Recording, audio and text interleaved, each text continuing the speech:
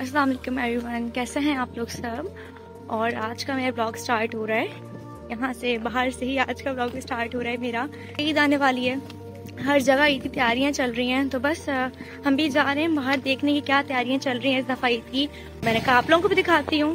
ठीक है, यहाँ पे हम लोग देख लेते हैं। अगर यहाँ पे हमें कोई अच्छा मिलता है तो फिर मैं आप लोगों को भी दिखाती हूँ, ठीक है? वो रहा सामने जलबरी इसके बाद फिर वैसे आज पच्चीसवीं शब भी है तो उसकी वजह से भी बहुत ज़्यादा लोग नहीं है, बहुत ज़्यादा रश नहीं है। बट देखते हैं मैं जाके खैर। अच्छा जैलबरी पे ना ये सीन है कि जैलबरी का जो है ना, वो ड्रेस कलेक्शन अच्छी भी होती है और बहुत ज़्यादा रिजनेबल प्राइस में होती है। यहाँ पर तो खैर काफ़ी ज़्यादा रश भी हो रहा है।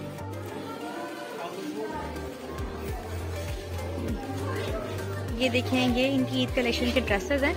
मैं तो खैर अब आई हूँ समझें शॉपिंग के लिए वरना हम लोग इस दफ़ा गए नहीं शॉपिंग करने के लिए वरना ठीक है समझिए बहुत जाना तो होता है ये देखते तो हैं कि क्या चल रहा है क्या नई ड्रेसेस हैं क्या कलेक्शन है इस दफ़ा की। बट ड्रेसेस तो खैर इनकी मैंने कहा ना ड्रेस कलेक्शन प्यारी होती है। मैं प्रॉपर तरीके से आप लोगों को दिखा रही हूँ ताकि आप लोगों के लिए भी अच्छा हो अगर किसी को कोई ड्रेस अच्छा लगे तो आ जाए अपने लिए लेने। और इनके रीजनेबल भी होते हैं। बहुत ज़्यादा कंपेयर टू अदर ब्रांड्स इनके बहुत ज़्यादा रेट्स हाई नहीं होते। वैसे काफ़ी लोग हैं यहाँ पे और लोगों की इतनी ज़्यादा शॉपिंग चल रही है। मतलब कौन लोग होते हैं जो एक साथ इतने सारे ड्रेसेस ले लेते हैं? मतलब कौन है ये लोग? कहाँ से आते हैं इतनी सारी लड़कियाँ हैं उनके हाथ में चार चार पाँच पाँच ड्रेसेस हैं और वो ना अपना पेमेंट कर रही हैं। मतलब मैं कब करूँगी ऐसे? मुझे भी होता है यार कि कभी आना है और बस ना इस तरीके की शॉपिंग करनी है अपने लिए। अपने लिए अच्छा देखिए यहाँ पे सारी अनस्टिच कलेक्शन है। ये देखें। बट आप अगर अन स्टिच देंगे तो फिर स्टिच कब करवाएँगे? बात तो सही है। मसला है ना या फिर चले स्टिच करवा भी लिया।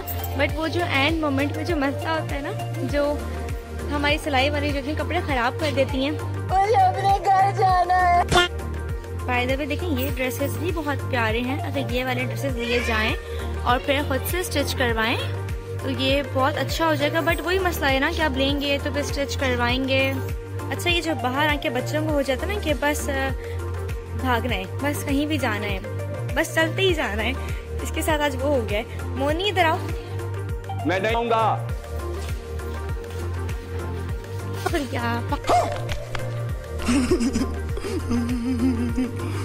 नहीं बिठाओ इसको।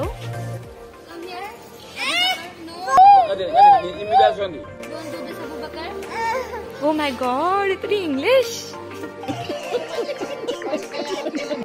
अच्छा ये देखें ये लग रहा है आई थिंक किसी की ईदी वगैरह ले रहे हैं। मैंने कब से देख क्या बात है सर? क्या बात है सर? ये देखें आप बस यहाँ पे रश देखें। इसी पे तो मैं कह रही थी कि भाई लोग वाकई यहाँ पे कह रहे हैं किडनी बेचे और चीज़ें लो यहाँ पे लोग ले भी रहे हैं। आग लगा दी आग लगा दी आग लगा दी। वैसे अगर आप लोगों ने शॉपिंग के लिए आना है तो जो बात है जलबरी बेस्ट है। आ जाए क्योंकि यहाँ पे आप लोगों को ना सभी कुछ एक साथ मिल जाएगा ज़्यादा घूमने की ज़रूरत नहीं पड़ेगी। और चीज़ें भी अच्छी होती हैं आप लोगों की समझ में आ जाएँगी। इसीलिए मैं मुझे पर्सनली खैर बहुत अच्छी लगती है इसीलिए मैं इसको इतना अच्छा रिव्यू भी दे रही हूँ। अच्छा अभी हमने यहाँ से ये दो ड्रेसेस लिए हैं ठीक है? और अब हम जा रहे हैं। अब जा रहे हैं अब ये नहीं पता कहाँ जा रहे हैं ठीक? है अच्छा पता है मैं ना ही बोलने वाली थी। कि मामा आज बहुत चले पता नहीं कैसे, क्योंकि मामा के सामने मैं ब्लॉग नहीं कर सकती। मामा, अम्मी, अबू, ये कुछ लोग ऐसे मैं इनके सामने नहीं कर सकती ब्लॉगिंग बट अभी मुझे ऐसे देख रही कि मुझे लग रहा है, अब वो मुझे ठीक ठाक गालियाँ देंगे, इससे पहले मुझे कुछ कहें, मैं चली जाती हूँ ब्लॉग बंद करके उनके पास, ना? अच्छा अभी हम लोग आ गए हैं जे डॉट पे, और यहाँ भी बहुत रश हो रहा है। जैसे वहाँ था जलबरी में, ये देखें।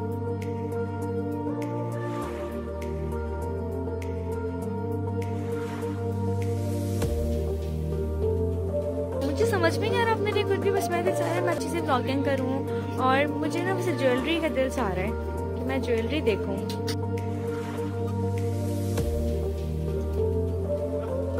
क्या कह रहे थे आप? मैं नहीं बताऊँगा। अच्छा ये देखिए यहाँ पे up to fifty percent off भी है डॉट पे।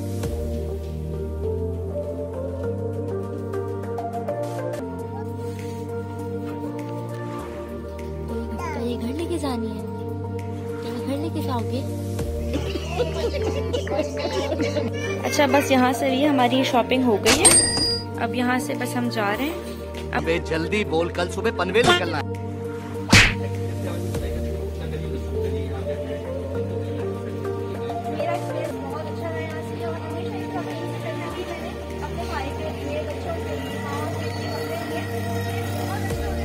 अच्छा ये देखिए मैं ब्लॉगिंग कर रही थी अभी तो मैंने इन लोगों के साथ में ब्लॉग शूट किया आपका नाम क्या है? भूपेंद्र जोगी। चैनल का? ओके ठीक है। हमने कहा चलो पहले कुछ खा लेते हैं आइसक्रीम वगैरह। अच्छा। ठीक है उसके बाद फिर हम यहाँ से आगे अपनी शॉपिंग जो है वो कंटिन्यू करते हैं। हम लोग घर में थे ना तो शायद हमें लग रहा था कि ईद पे रौनक नहीं है इस दफ़ा। और लोग शॉपिंग्स भी नहीं कर रहे बाहर इतना ज़्यादा कोई रश नहीं है बट नहीं यहाँ पे सब कुछ है। वक्त बदल दिया जज्बात बदल दिए ज़िंदगी बदल दी। और लोग शॉपिंग भी बहुत ज़्यादा कर रहे हैं। उसके अलावा रश भी है यहाँ पे नहीं हर जगह पे बहुत रश है। और जैसे मतलब ईद का सब कुछ होता है ना बिल्कुल वैसा ही है वही वही रौनक है इस दफ़ा भी ईद पे ना। जाएँगे हम लोग यहाँ से। अच्छा चेस तो हम लोग गए नहीं चेस से हम लोग यहाँ गए थे? बस हम घर जा रहे थे और मामा ने कहा ये पीआईडी में जो है ना काफ़ी रौनक होती है और स्टॉल्स वगैरह लगते हैं ईद की वजह से ना। तो यहाँ पे हमने कहा, चलाओ, देखते हैं। यहाँ पे बैंगल्स वगैरह और चूड़ियाँ, बच्चों की चीज़ें, सब कुछ होता है। तो अभी यहाँ पे आए हम लोग। अब मैं यहाँ पे दिखाती हूँ आप लोगों को। लोग ना अभी गाड़ी में बात कर रहे थे कि इस दफ़ा ना ईद पे इतनी रौनक नहीं है और ना लास्ट ईयर थी, वो वाली बात नहीं है। बट हाँ ये तो मैं स्टिल कहूँगी कि लास्ट ईयर वाली बात तो खैर नहीं है, ठीक है? बट पहले से आराम है। जब घर से बाहर निकलेंगे ना तो रौनक भी दिखेगी और रश भी दिखेगा। बात तो सही है। यहाँ पे आई भी बस हम लोग इसलिए आए थे कि हमने कहा चलो यहाँ पे ज्वेलरी वगैरह देख लेंगे। और भी बहुत सारी चीज़ें होती हैं यहाँ पे। हमने कहा चलो यहाँ पे देख लेंगे उसके बाद फिर घर जाएँगे। बट यहाँ पे कुछ भी समझ में आया कुछ भी। एक दो चीज़ें अच्छी भी लगी हैं इनापी को एक इयरिंग्स बहुत प्यारे लगे थे वो थे भी प्यारे बट वो ना साइड से वो टूट रहे थे। मैंने उनसे कहा मैं कहा टूट रहे तो वो कहते कि नहीं कस्टमर्स देखते हैं बार बार खोलते हैं चीज़ को तो इस तरह से हो ही जाता है। और अभी साढ़े तीन बज रहे हैं तो हमने कहा बस घर चलना चाहिए कि अब सहरी का टाइम हो गया अब घर पे जाएँगे। पहले तो हम और मम्मा की बातें सुनेंगे उसके बाद फिर सहरी करेंगे। बात तो सही है। चले ठीक है भाई अल्लाह हाफिज मिलते हैं अब नेक्स्ट ब्लॉग में। चैनल को लाइक सब्सक्राइब और शेयर कर दीजिएगा। अल्लाह हाफिज।